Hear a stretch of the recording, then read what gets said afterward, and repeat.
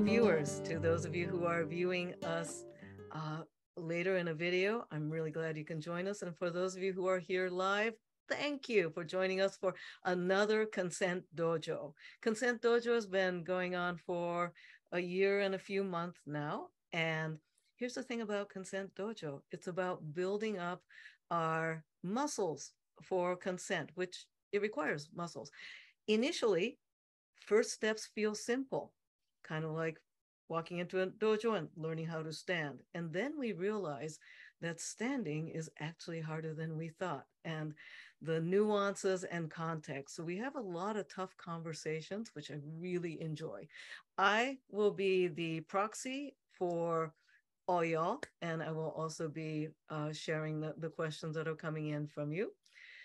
So consent is straightforward, and incredibly complicated. It does require practice and regularly understanding about this and thinking about it and doing it. Uh, it's my delight to get to facilitate this.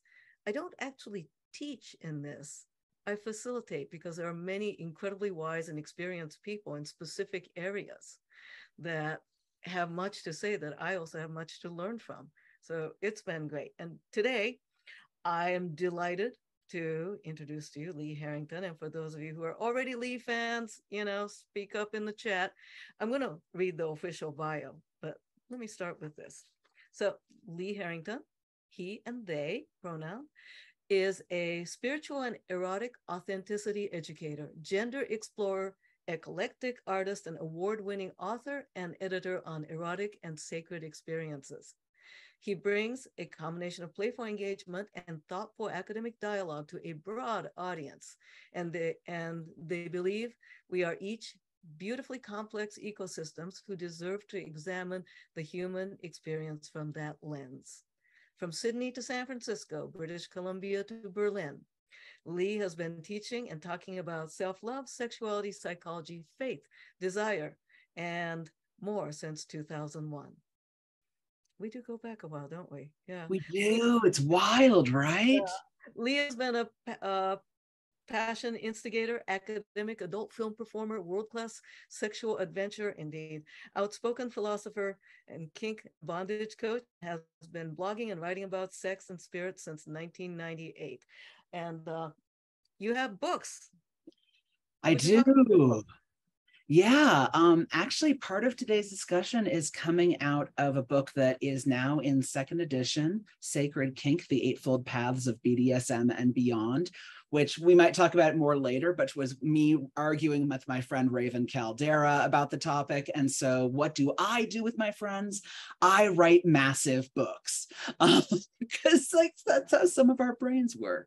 But I've also gotten to write pieces that are much shorter, such as the Toy Bag Guide to Age Play with Greenery Press, which is a tiny little thing that fits in your back pocket to uh, getting to co-author playing well with others your field guide to discovering exploring and navigating the bdsm kink and leather community and then beyond that, everything from rope work books to an erotic and sacred poetry collection, things on queer magic. And in general, I encourage folks to go over to my website, which is passion and soul.com and you can get the list of those and lots of anthologies I've been in. And in general I spend a lot of time writing. I love it.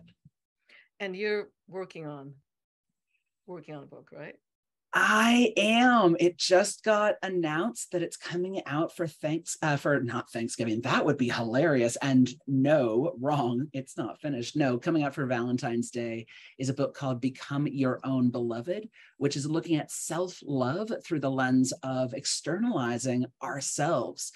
And I don't know about you, but I know I've said things to myself that I would never say to another human being or let myself say things to myself. I would never let another human being say to me. And so the book is about becoming your own friend and taking yourself out on dates and learning how to make a commitment to yourself and then in turn how to forgive yourself if things have not gone in a way that was healthy, happy, and whole for you. And then later on, uh, talking about relationships with other people in the context of also having a relationship with yourself, where basically I introduce people to poly theory, polyamory theory 101, but frame it in the language of monogamy. Nice, nice. Thank you. And I'm looking forward to your books coming, uh, next book coming out. And we've known each other a long old time. Oh my God. It's wild. I was looking at some photographs recently of you having me all roped up in Kay Buckley's dungeon space in 03. Oh my like, goodness. Wow, time is strange. Yeah.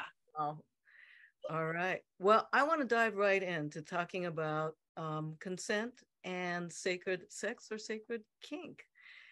And many of uh, many of my regulars, my viewers know that, and I, I mean this this uh, quite intentionally. I am a devout atheist.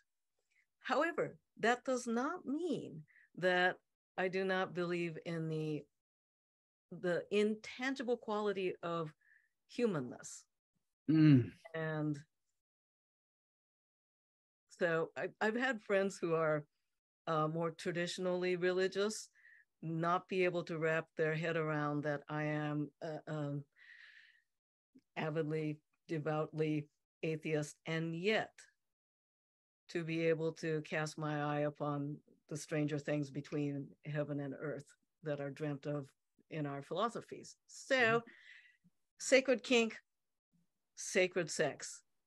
Share with us what does that mean to you and what does it mean in this situation? Yeah. So I think one of the key pieces you already alluded to, which is the notion of the sacred, that which is precious to us, that which lights us up, that which, if it were done out of a specific context, would feel wrong, de- defiling, inappropriate, or harmful to that which is true to ourselves. I mean, you use the word atheist, it simply means not theistic, to not believe in a divine or a God. That I know a lot of people who are spiritual or believe in a sacred truth of their journey, something that is bigger than themselves or taps into lineage or something that has a deep specialness to them that are not theistic and some that are theistic and some that are polytheistic, believe in many divines or spirits or gods.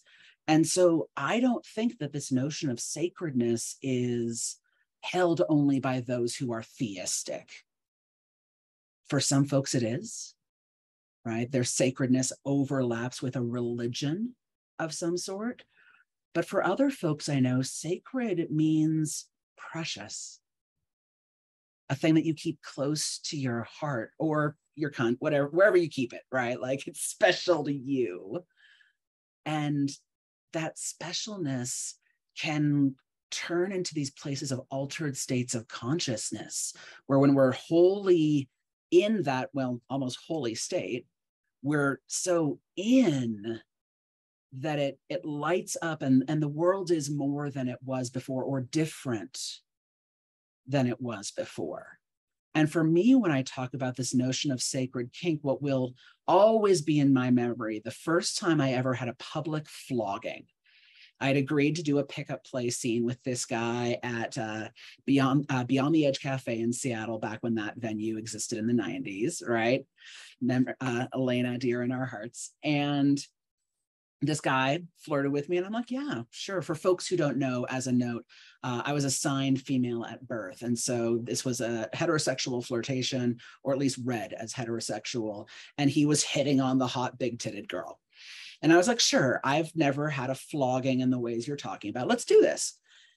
And i went into this place where time dilated right? I don't know if you've if you've had those moments or anybody in chat, if you've had a time where time went in, right? Things got like, or time went out where it's like, wait, what do you mean it's only been five minutes?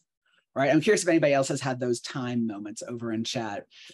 But I had this time thing happen, and it was the same emotional sensation as when I had danced naked in a grove with a group of druids, as well as when I had prayed with a group of Pentecostals. Like it was the same sensation. It was the same experience. And after the scene, I turned to him and I went on this whole rambly thing that I, you know, and said, it's like this. And the dude just went, it was just a flogging. Well, that, that actually illustrates a good point that you can have two people having the uh, in the same time and space and having two very different experiences and it doesn't make it wrong but it does make it wrong to make the other person wrong. Exactly. And so when we talk about sacred kink i had this deeply sacred moment wrapped in an experience of an altered state of consciousness right? Drugs weren't involved but unless you're counting the drugs of the brain but i was wrapped in this altered state of consciousness i had had a profoundly sacred kink experience. And I find when people use words like sacred kink, it's up and down that dimension or other dimensions. Or uh, can I show actually share a quote from Z? Oh God, please, please. Um, uh, before you do, there is a yeah. question that relates to this. Um, uh, somebody asked, can one believe in the divine without believing in any specific god or gods? Uh, I, I, would argue yes. Uh, because the labels that humanity interprets their experiences of the divine through we are speaking in human tongues and i would argue that the divine has a broader language or different language than we do um, human beings are pointing at a map trying to explain the actual geography it's we're pointing at the map that's my personal philosophy. I don't know about yours. Nice, nice. All right, you were going to do a screen share. Yeah, so if folks are not familiar with Z and their work, check it out at embodymorelove.com. Like they're just amazing. But I pulled up this quote ahead of time that takes a different look at this notion of kink in general. But to me, I think also taps into the sacredness of kink, which is sexual desires behaviors and identities that challenge social approval, giving you the opportunity to explore your courage, shame, pleasure, and liberation. And when I heard Z say that for the first time, I, like I remember my heart expanding and going, that is the sacred work of what it is that we do. It's it's the difference for me between play as in silly and play as in going to the theater to a place that moves our heart. And right? they both use the word play. Go ahead, please. Yeah, and it can also be both. Yes. Yeah, that's exactly it. And so for some people, sacred kink is those things that cross over to either spirituality or some sort of religious practice. For some people, it's about kink that is dear and precious to our heart. And if someone else did it with us, it would feel defiling or wrong or inappropriate. And for other people, it is doing that work of the heart that is, it is the play, but more than the play. Nice. So, question. Mm. Uh, so, sacred sex. You've also you've also I've also heard you talk about ordeal journeys. I think you even have a presentation around that, right? So I want to dive straight into sacred sex and right. ordeal journey, uh, how sacred sex and ordeal journey um, might change what consent is or looks like, and maybe explain a little about ordeal journey because I know I just skipped that part. Yeah. So the definition I use for an ordeal is something that is an intense challenge where we are going up to the edge of our thoughts of where we can go that place where if we go beyond this we're going to harm our ourselves in some way emotionally physically whatever and going up to that place and then choosing to engage choosing to tap in with a thing that is hard for us and that we come out the other side changed. So, an ordeal for one person might be sitting opposite you having a conversation, right? Like that would be an ordeal.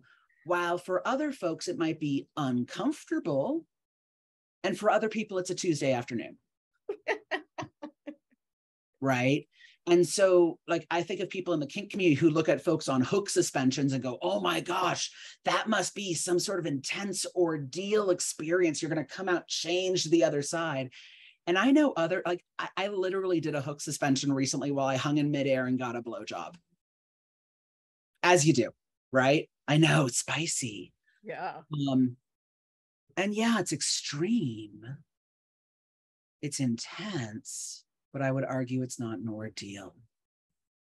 I was still fully present. I was still in this moment, the ability to use a safe word, for example, or the ability to say clearly in English, I need to come down now.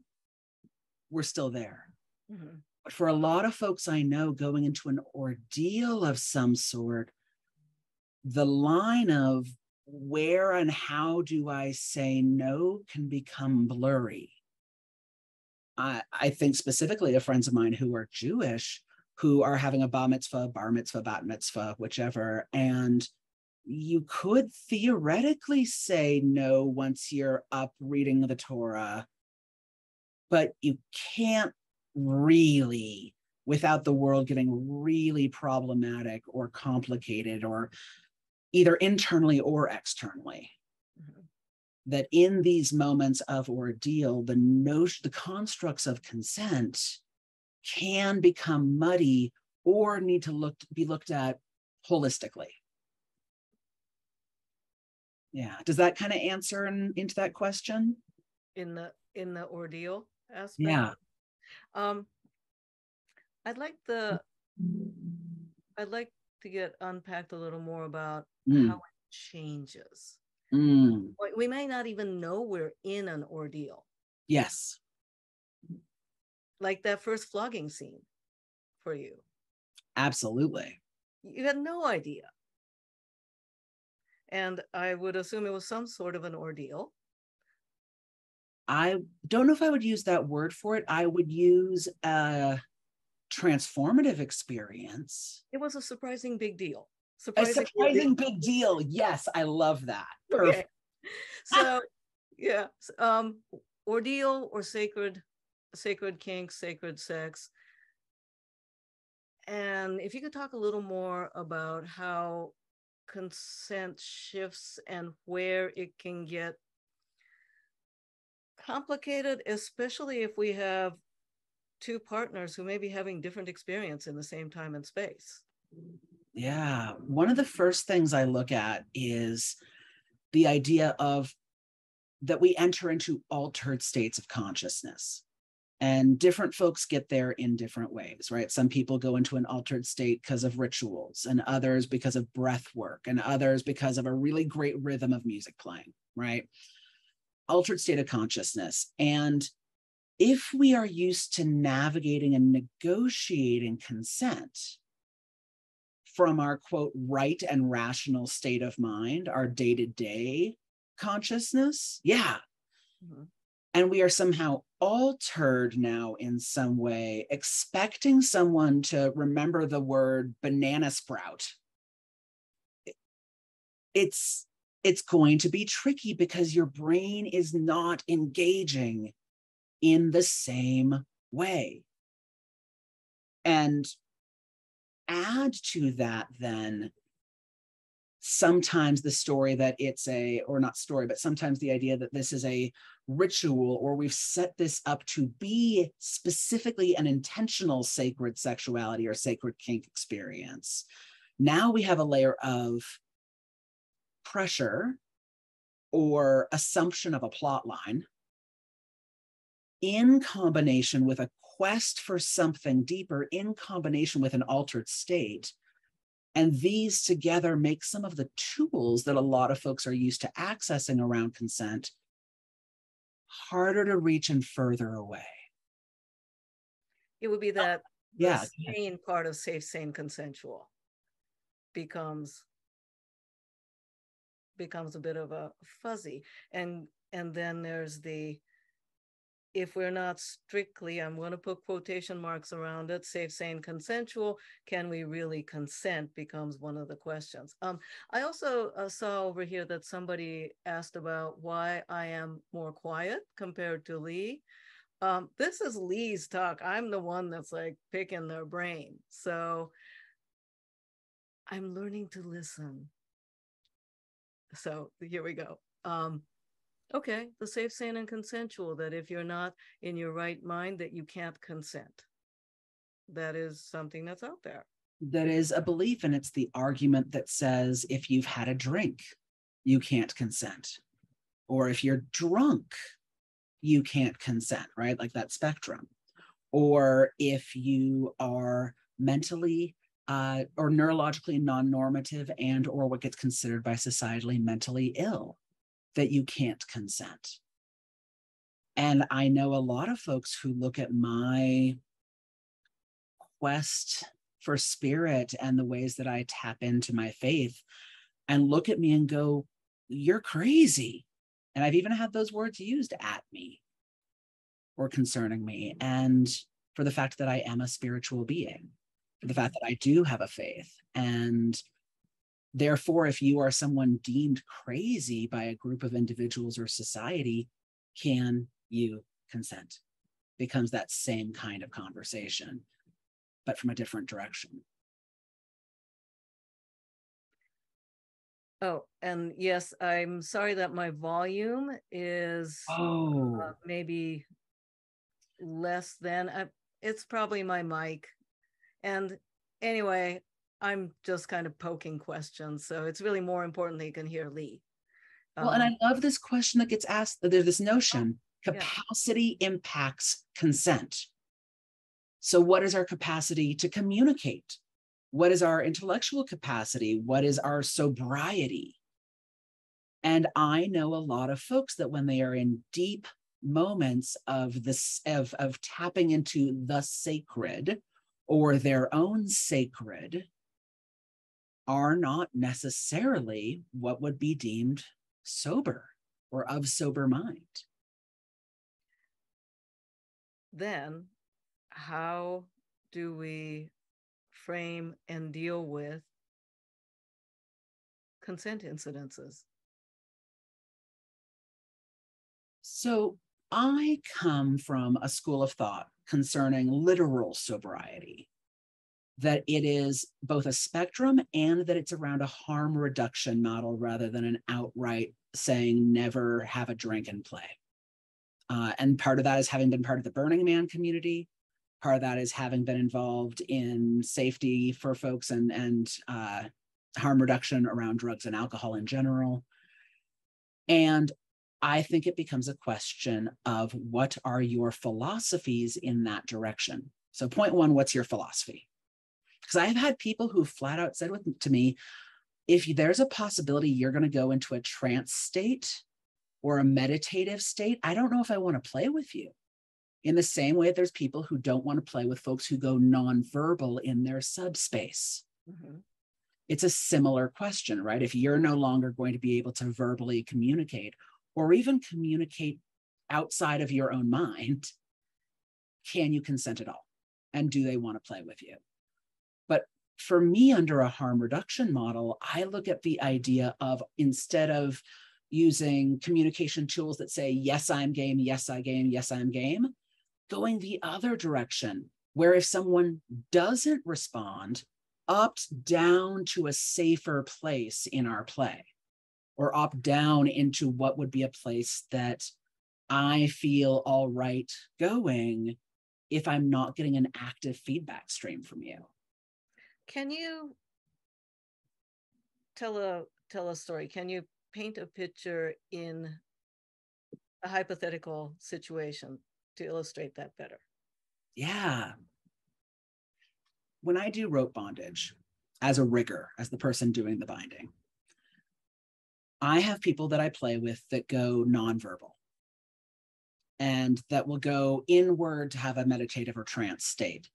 And so what I do is when I'm I'm checking to see their circulation, I go up to their hands and I squeeze their hand because I'm checking on temperature. I'm checking on how fast the, you know, the change in their um their either their temperature or skin tone, depending on whose body I'm involved with, right? And their body realities. Um, and then also what I'm checking for is do they squeeze back? Because if they squeeze back softly, I'm checking for um, uh, for potential nerve and, and hand movement. But I'm also seeing are they still here mentally and emotionally with me? Because if they if their hand drops, oh, I need to deal with this physiologically. But if they just kind of lay there like a limp rag, okay, I now, as the rigger, have a choice. Do I start wrapping up the scene? Do I, well, that was a joke and I didn't mean to. Anyway, do I, I know it, it's these things happen in my mouth. I'm my inner dad joke heart. Um, like, do I wrap up the scene? Do I sit at a certain level where I consider it safe, even with no feedback from them? Do I in that moment. I've had this happen for me. I've had moments where somebody, instead of no squeezing back, I had somebody latch on my hand and squeeze for dear life, but their mouth wasn't working. Mm-hmm. And I went, oh, I need to address something, but some part of them is in an altered state of consciousness. Or the opposite, I've also had folks non respond. And it was really hard for me because how well did I know that partner? Have we played before? Do I trust that if something goes sideways, they will be able to roll, like figure it out with me? Like if there was a consent misunderstanding or a consent accident, I know this person well enough that we are going to be able to traverse it together and see and take care of one another on an emotional level. But if I have a non responsive person, I've wrapped up scenes when people go into those almost those inward and sometimes catatonic states because I don't know them. Mm-hmm. I don't trust that I won't fuck things up. I don't want to unintentionally cause a consent even an accident, not a consent violation necessarily, but I don't even want to con- cause a consent misunderstanding or accident because I care about them as a human being. And so to me, that's a thing that I've had happen a couple of times and had to make really hard decisions about. So, okay, so let's say you made that hard decision, right? And then say you and I are playing and you made that hard decision because uh, my communication or whatever capacity I had was not something that you could make sense of. And let's say you call the scene. Mm-hmm. And then I come out of it and say, Oh, I was fine. We could have gone further. I don't know why you stopped. These conversations happen. Absolutely. How would you, how would you respond yeah. to that? Um, that's great to know. I realized I didn't ask you what good looks like. I only asked you what bad looks like. I only set up a safe word if there was a problem. Now I know about you that good equals going to a trance state. So as a rigger, I want to know how do I know it isn't good? How do I know that? And do you have a way to communicate it to me? And if the answer was I, I don't have a way to communicate it to you, then I am now having to make an assessment. That person is making an assessment. In this case, you, you're making an assessment for yourself. Mm-hmm. Do you trust me to do whatever it is when you literally have only played with me this one time? Or is it a, oh, I haven't asked myself that question.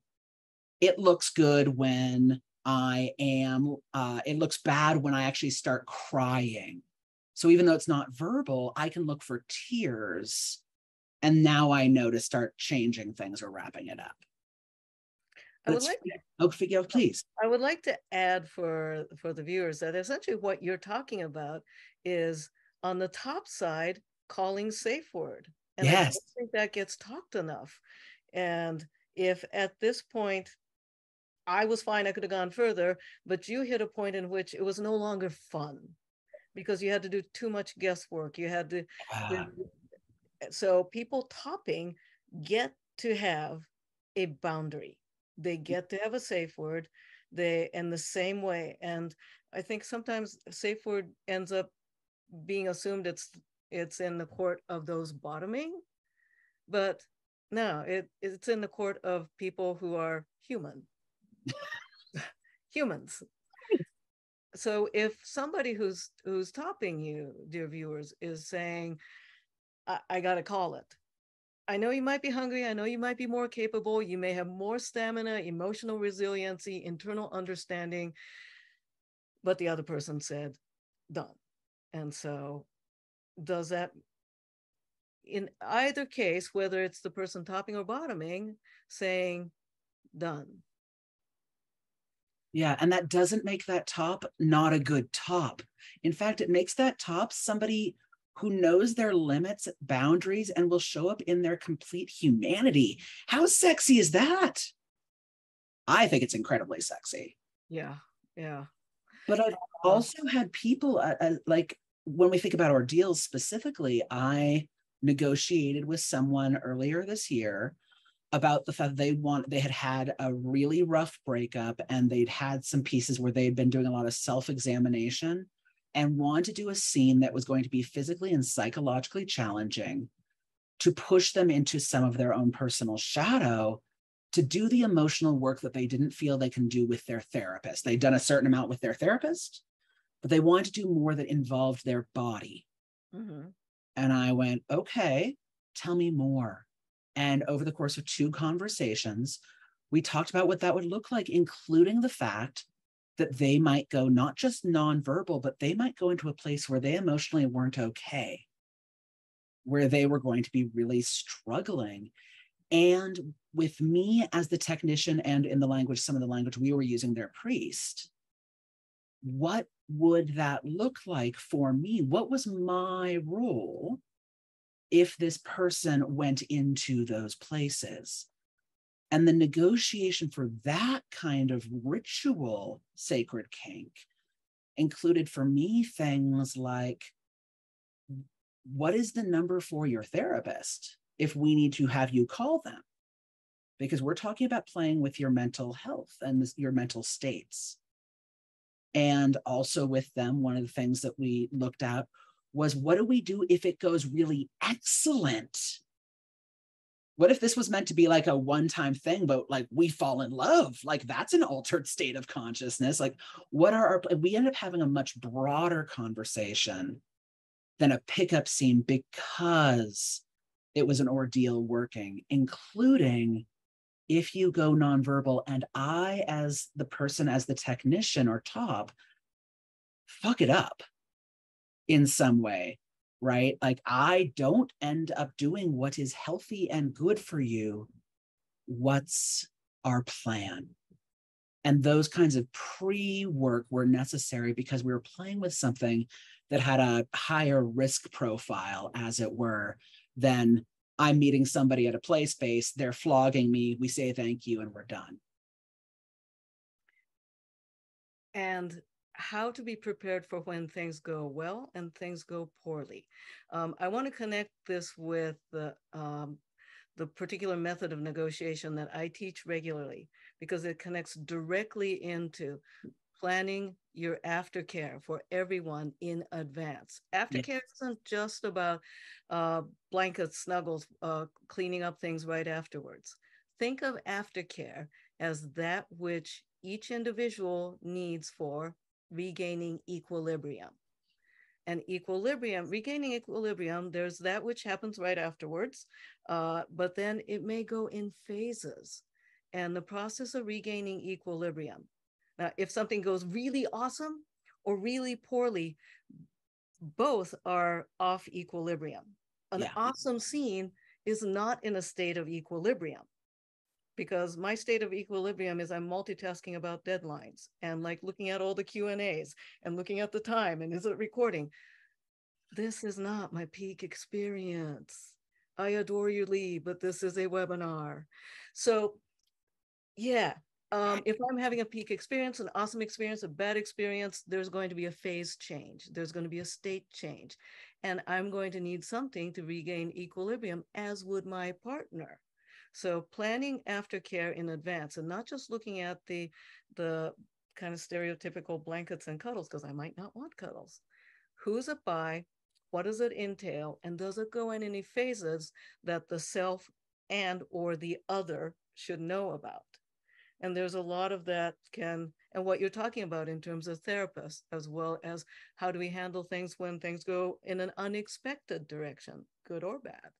So yeah. planning your aftercare in advance, folks. Um, uh, put that in your head and think about what you might need and it will change there was a um, lee mentioned about risk profile and the context is it a pickup scene or is it a long negotiated transformative scene these will vary what one needs for aftercare. And if you are on the receiving side or the bottoming side, ask the question that isn't often asked Hey, person topping me, what do you need for aftercare?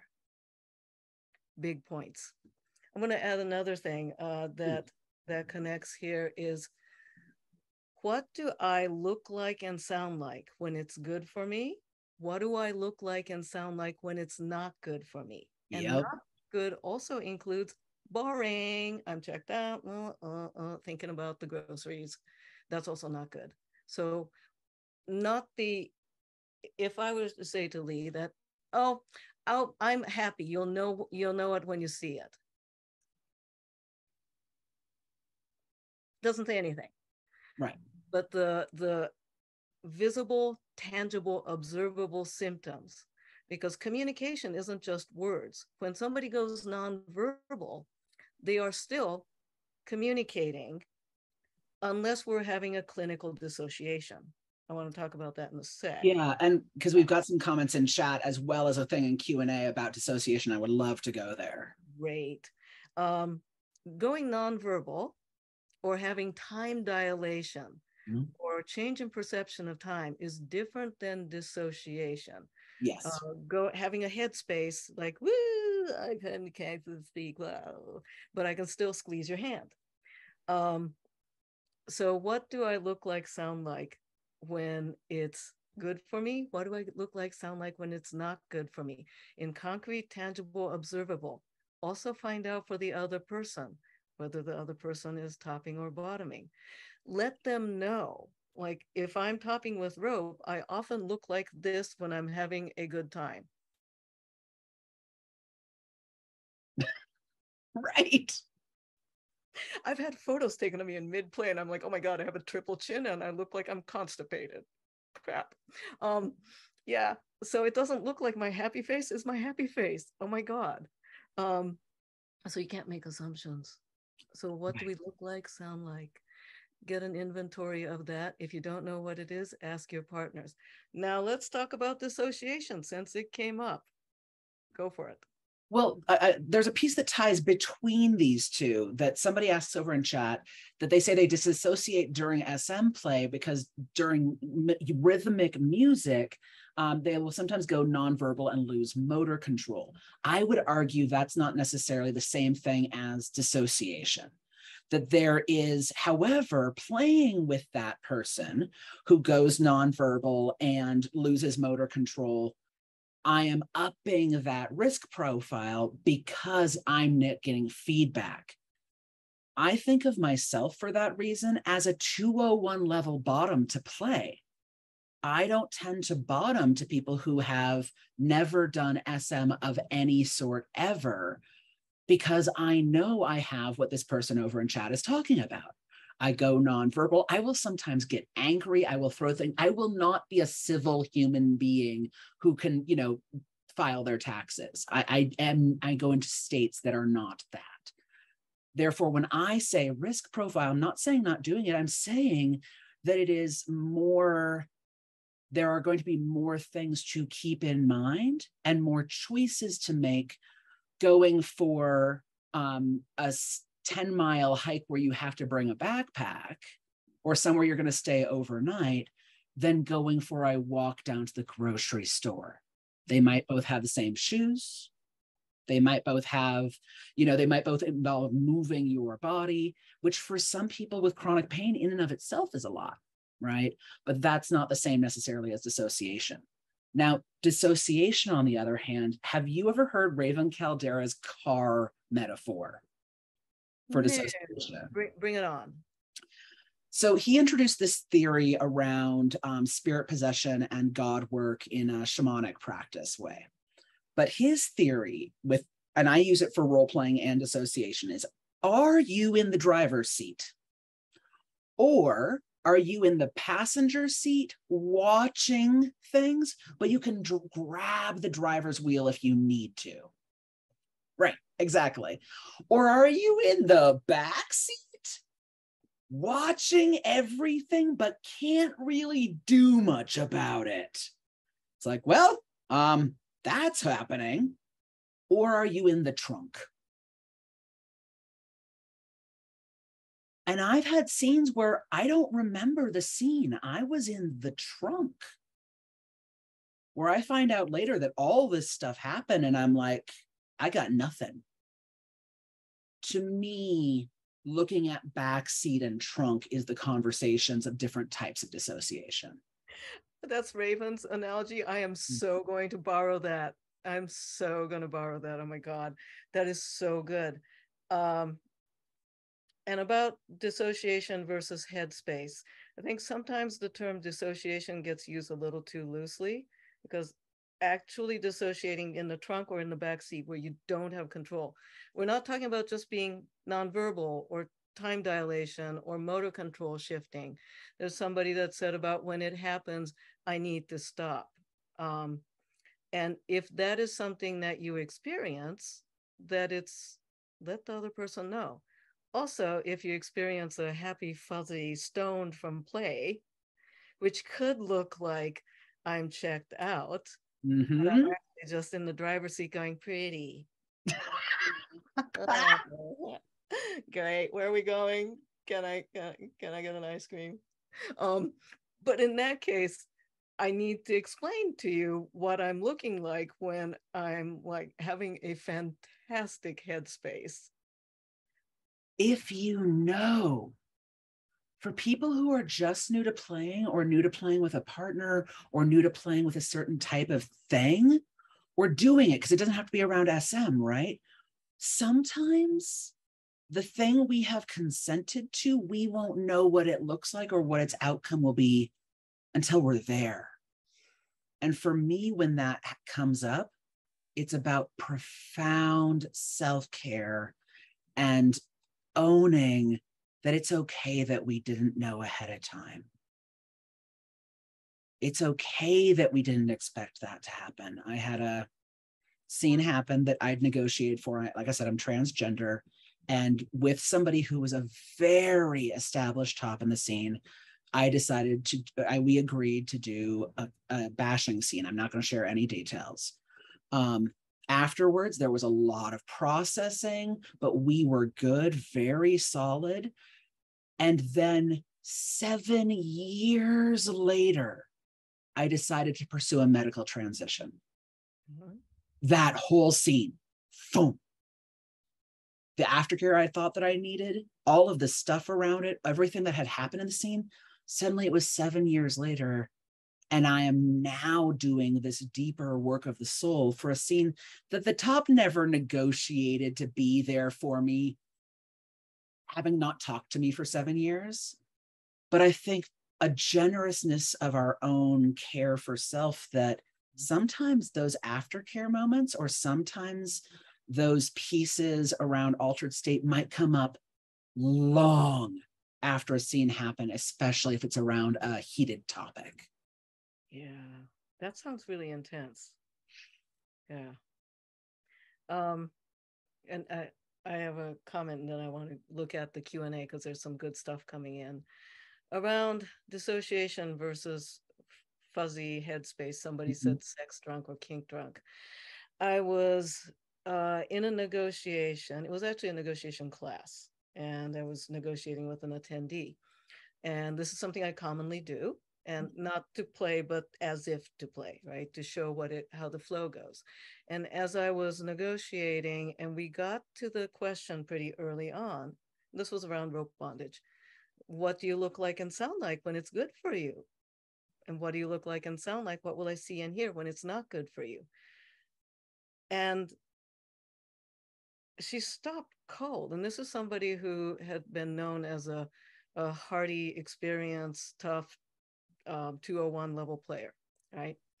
And she said, Oh, I don't know. I don't remember anything when I'm play after or during play. I don't remember anything. Yeah. And this was a class, so we we found discussion and solution appropriate around that. However, if this were actually in in a pickup play situation, even if I knew this person to be like a you know hot at bottoming, at that point I would have said thank you. Uh, let's not play, but want to grab dinner instead. Right. Yeah. Yeah. And I, I do want to name though, I've had play partners over the years who um, either have trauma responses and or have clinical dissociative identity disorder. And it didn't mean that person doesn't deserve to have kink. Correct. And, I was drawing a line.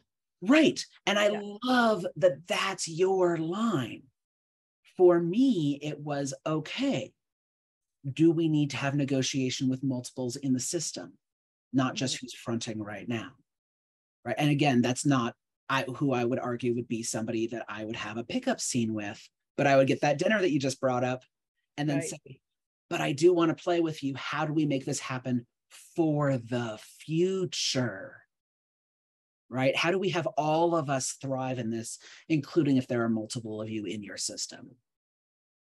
And had that been a pickup play situation for me, I, I think I would have been like, let's go to let's go to dinner and like you said, um, let's back it up and enjoy some small steps.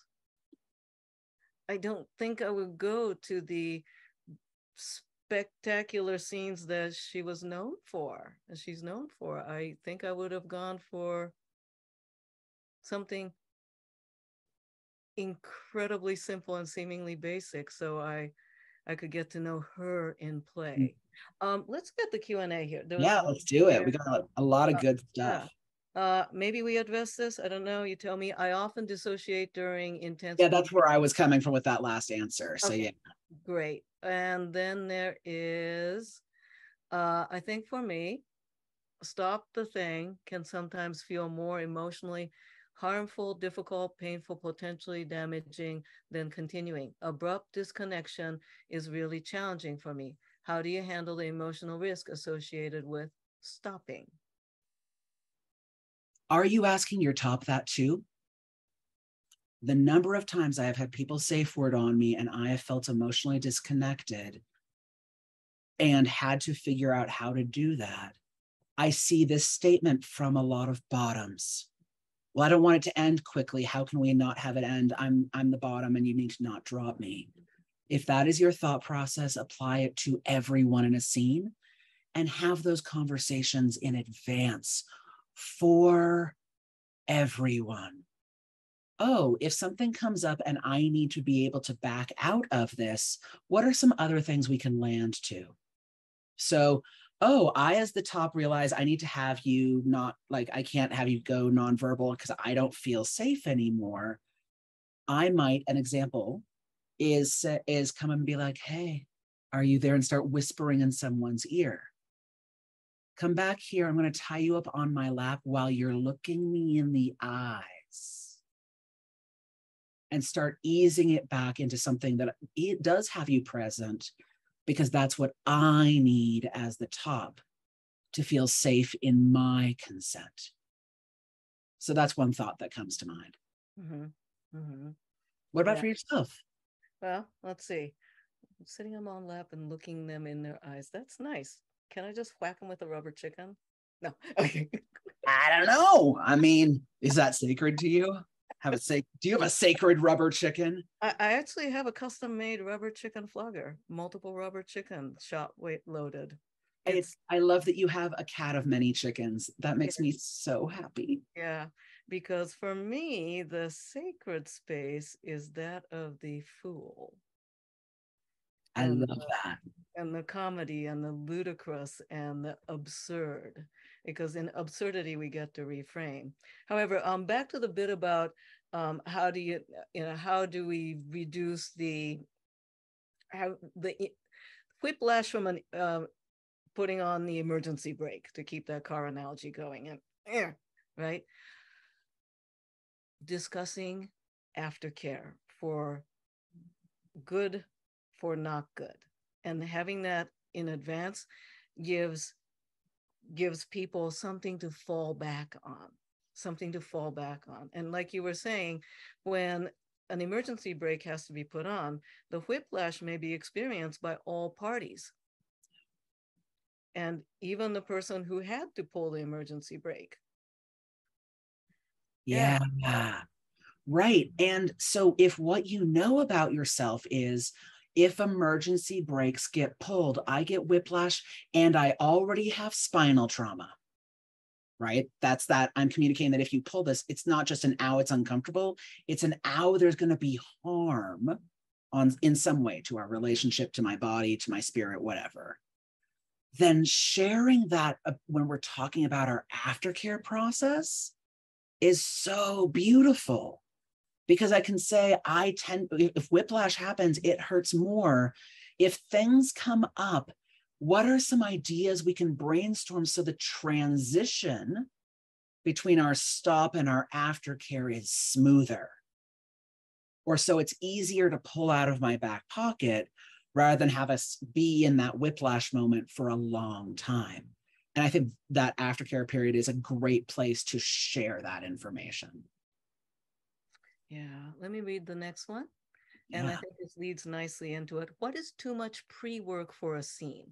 Is having someone join a therapy session for healing experience a line too far to make sure everyone's on the same page?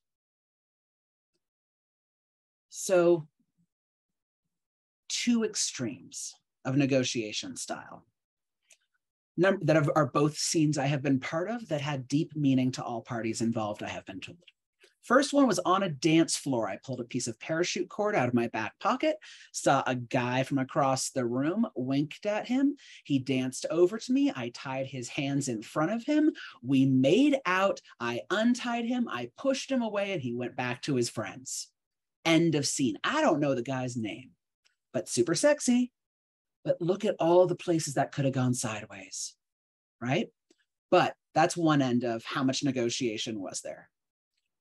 The other end, um, I did a ritual with someone, and it was somebody who had, I'm going to mention uh, domestic assault, but I am not going to share any details in the following small story. Um, they had experienced domestic assault and had been working with their therapist for multiple years on how to process this. And they wanted to do a ritual of healing to let some of that go my mother, because my mother was an artist, made me out of a bolt of muslin fabric, um, one and a half inch strips that were multi layers of muslin sewn together so I could do have people write on those and I would suspend them in their own poetry and their words. And so I did a ritual with this person that we talked for months ahead of time. And they sat down with their therapist ahead of time, not with me personally, but their therapist and I had each other's phone numbers in case something came up. And they had scheduled that after this, after the ritual slash scene, they were later that night talking to their therapist, and it was pre-scheduled. Mm. And we did this ritual where they told me the story of this of this relationship and abuse. And i wrote it all down on this fabric and we wrapped it around a suspension tripod. They went and baptized themselves in the local swimming pool came back and then i suspended them in their own story. And then they cut themselves out of their story and left it behind. Amazing. But and, that was oh go ahead please. And Then there's also the dance floor scene. Two very different ends. So, how much is too much to negotiate to me is such a unique question for each situation and that piece we brought up earlier where are you comfortable with your risk profile there are people comfortable jumping out of perfectly good airplanes hey it's not perfectly good if air force is piloting it says the army veteran oh my god army brat like you get it right you oh my it. god it's so real it's air so force real. um um oh i saw a great meme recently where it's like army was like it was a group of of four guys and the army guy was like jumping over the thing and the marine was like doing push-ups on it and the navy guy was inspecting the pole and then doing a limbo underneath it the air force person acknowledged the pole and then noticed that it ended one foot off the edge of the screen, they walked around it. yep. Yep. yep.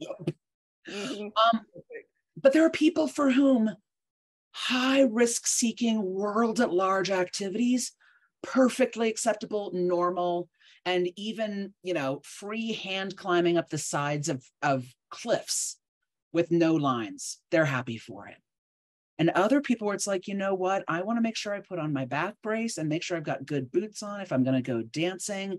It's like, so to look at your models in the world at large around your personal consent with your safety. And I think there's that informs our conversations around this stuff.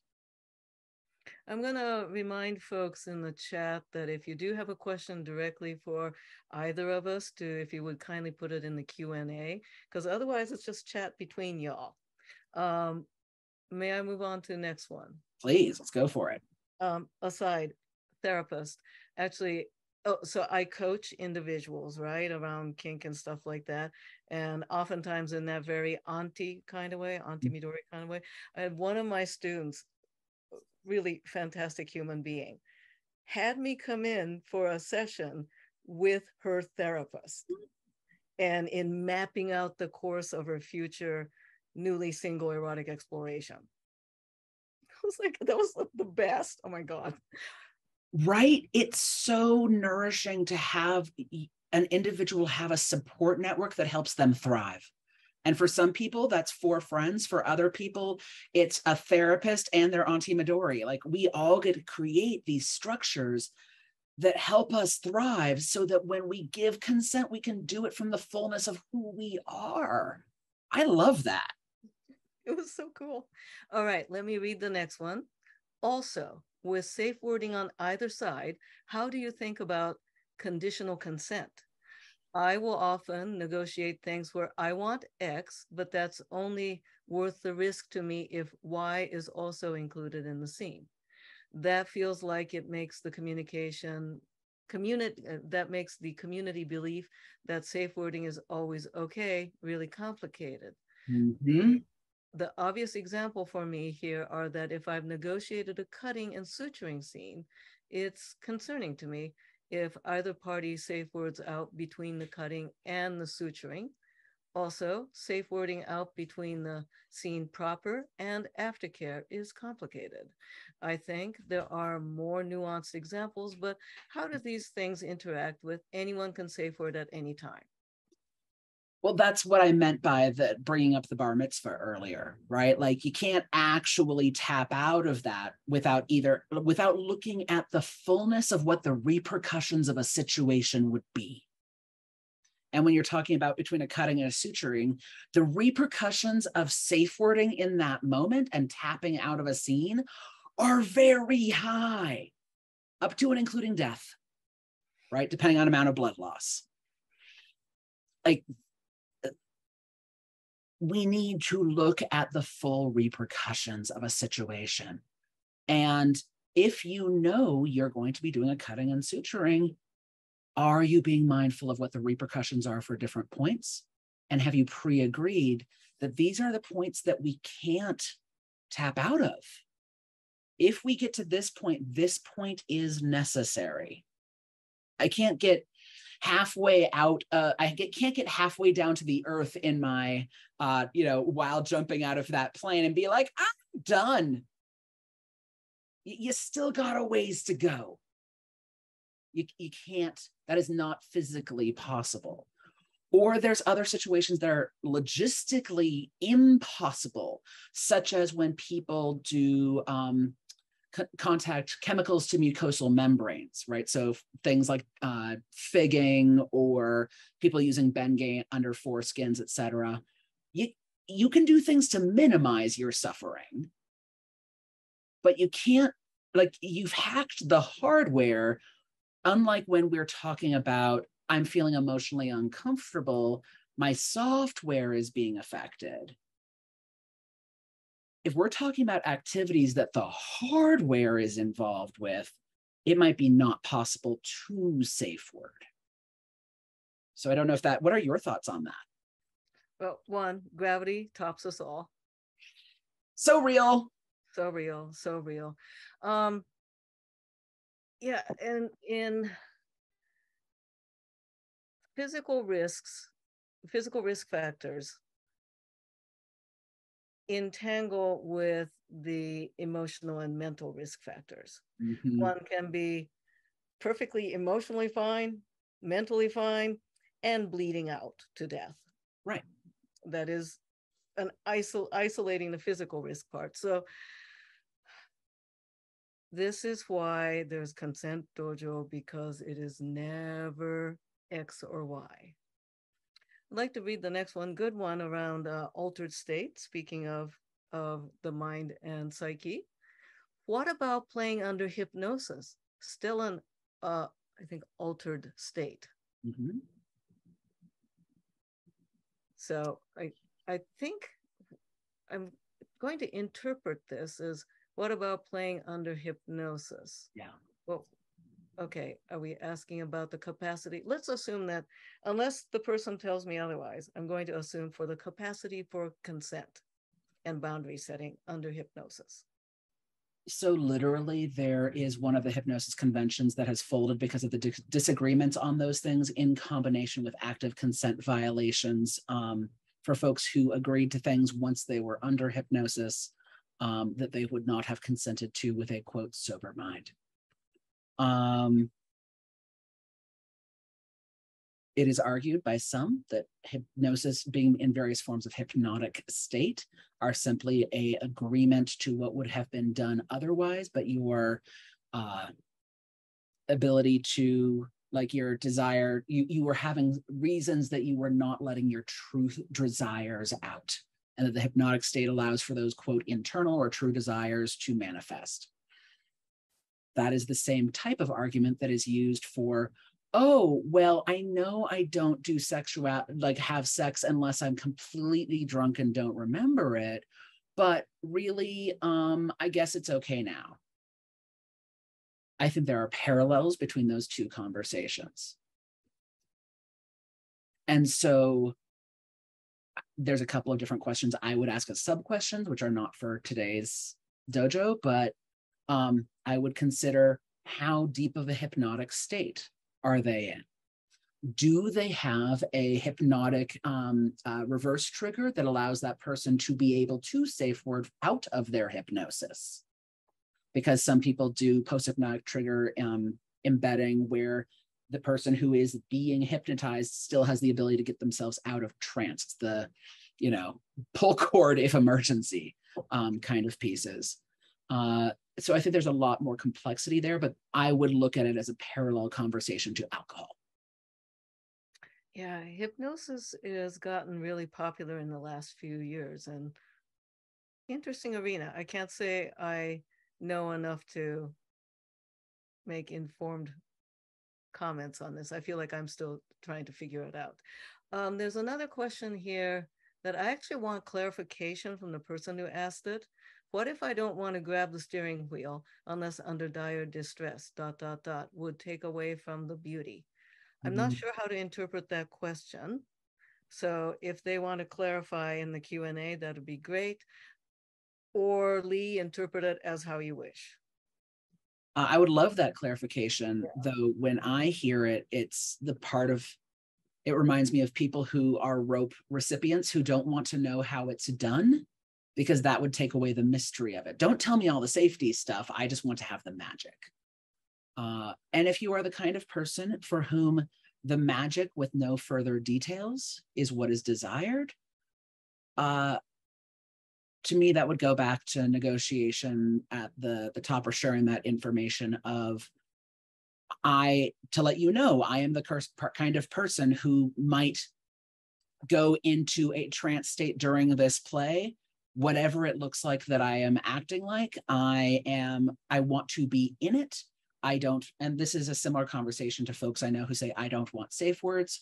Uh, it is, or I don't want the ability to communicate in any way, shape, or form. Folks who say do full body immobilization with no ability to get out of it or even be physically hurt. Um, if you are of those categories of players, again, ups your risk profile, and everybody involved i think needs to have the ability to consent to that. Is everybody aware that that's who who is playing in this moment? Are we doing play that is compatible with that style? Um because it so there is a play party that i sometimes go to that is a crossover between the bdsm and the rave community. And so there are people there who do um ecstasy and other sorts of, of things. And I've had people say, Are you willing to play with me while I am on this substance? And I'm like, Well, first, thank you for being transparent with me. I have gratitude for that. And then, second, how much capacity do you have right now to share information slash how much experience? And then the third question, is it okay if I just tie your hands together in front of your in front of you and have people pet you? Because for me as a top, I am willing to physically touch this person, but 95% of my play off the table. But am I willing to put your hands tied in front of you and three of your friends pet you? Yes. In the same way, if somebody said, I want to have all of the, I want to be all mystery and all this, unless you're an established partner, this becomes this equation, right? Mm-hmm. Yeah. Um, not exactly the the the rave and kink party, but when I've when I go and uh, hang out in places like Torture Garden in London. Yeah. And Torture Garden, there's all sorts of drugs, all oh, sorts yeah. of drugs all over the place. And I don't think half the people know what they're taking.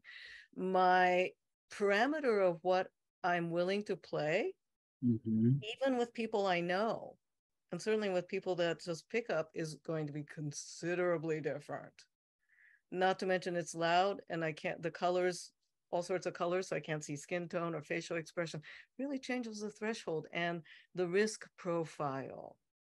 Uh let's see. I also want to give a heads up that we've got about 15 minutes so i may not be able to get to all the questions because i think you have a takeaway uh, assignment or something similar to that to folks.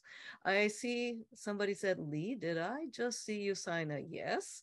Have you used ASL as a workaround for nonverbal states or is or is non-communicative a better descriptor? Ah, thank you.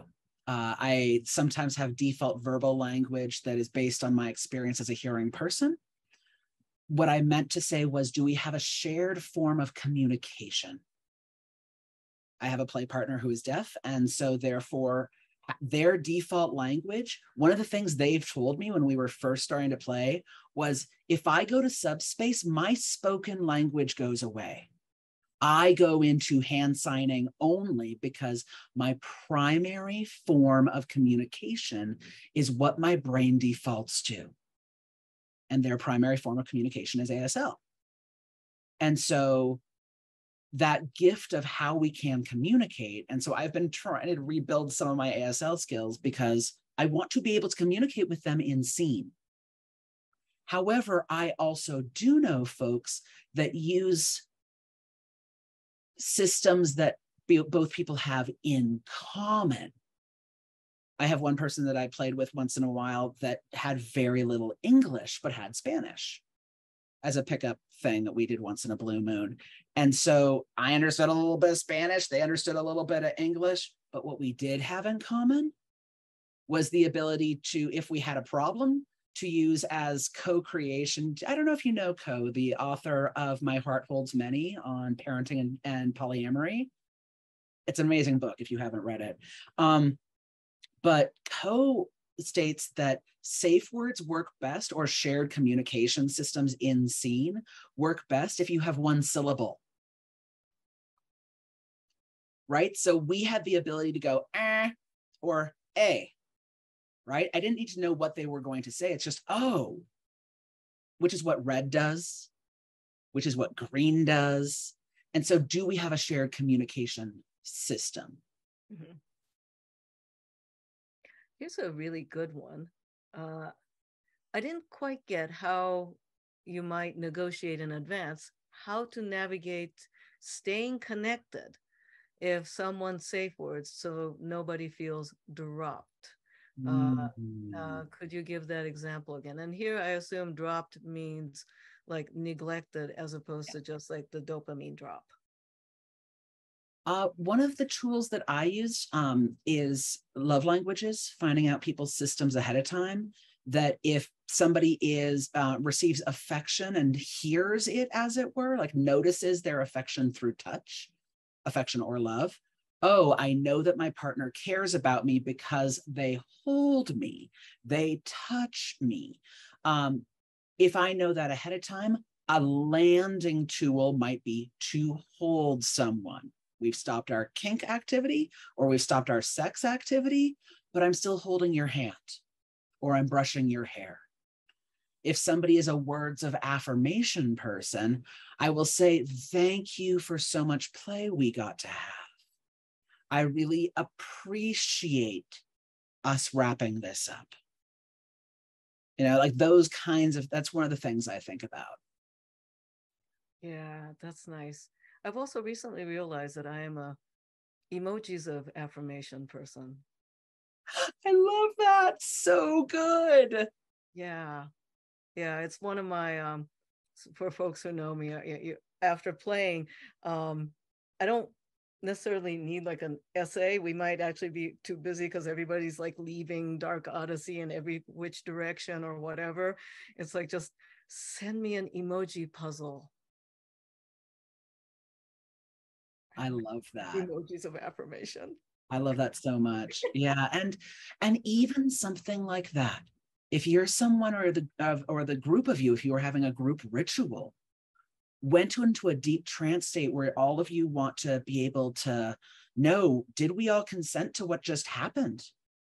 Are we all still good?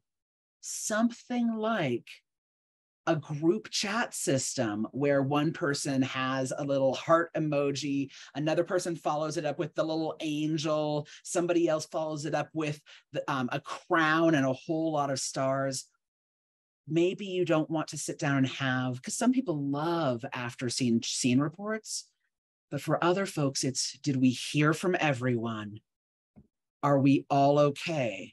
And if folks aren't okay is there a clear system set for us to check in with each other and be able to move this into a place of health and well-being nice and next is it possible to prevent whiplash through learning to or learning to or being a better driver or better passenger?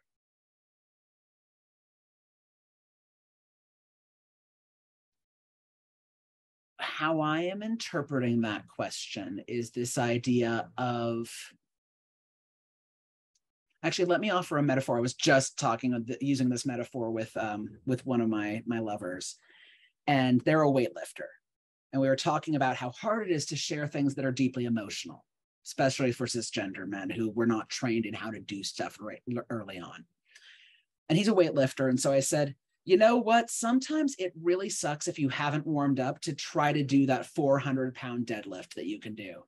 And he was like, yeah, it really sucks. You can totally mess up your back, et cetera. And I'm like, but is it easier if you do some warm up ahead of time? Like, you know, spend an hour at the gym before you do that? And he's like, absolutely. And I'm like, and what did it take to get to a point where you can do a 400 pound deadlift?